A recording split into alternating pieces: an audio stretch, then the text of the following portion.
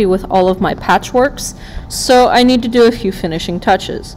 The quickest way to get rid of your guides is to go to View, Guides, and hit Clear Guides. That way you don't have to delete each and every one of them. It's pretty darn handy if you ask me. Now, there's a reason I had you keep your background layer, and that's because if you put it there and you did this assignment right, you hopefully won't have to do much with the background.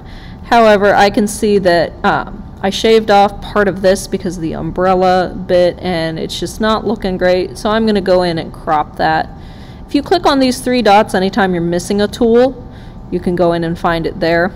So I'm going to crop this down a bit. I don't want to crop just that little bit. Anytime you crop, it will apply to the entire canvas, by the way. So I'm going to crop this over just a little bit, just because I've got that shoulder bit hanging out where the effect isn't applied. There we go. And now I've got a nice fun portrait.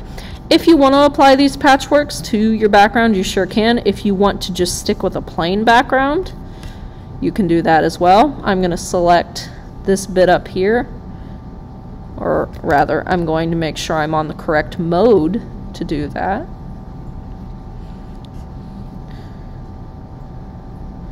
But if you want just plain background, that's fine too. Let's have it overlap just a little bit. I'm going to create a new layer. You do solid backgrounds or gradient backgrounds or pattern backgrounds. That might be fun. Let me show you what pattern looks like. It'll let you pick from these ones. Grass, trees, water. Let's just see what it looks like. That's kind of fun. So if you want to replace your background, you can. If your background's super important to you, you can leave it. I think it looks cooler with the artsy stuff behind it. But that is how you finish up your portrait. Just a reminder how to turn these things in. You should be saving as you go. If I hit save the first time, it's going to ask me to name it, and it's going to have a PSD bit at the end. You want to save that. And keep that PSD function at the end in case you want to continue working in this file and preserve all those different layers. So we're going to say patchwork portrait, not PSD. And I don't want to save this in general class stuff. I want to put it on my desktop for now. Hit save. Always choose maximize compatibility. It may ask you if you want to save on your cloud. Don't do it. Don't do it. Don't save on the cloud. Now that I'm ready to turn it in, I'm going to go to File, Export, Export As. JPEG or PNG is fine.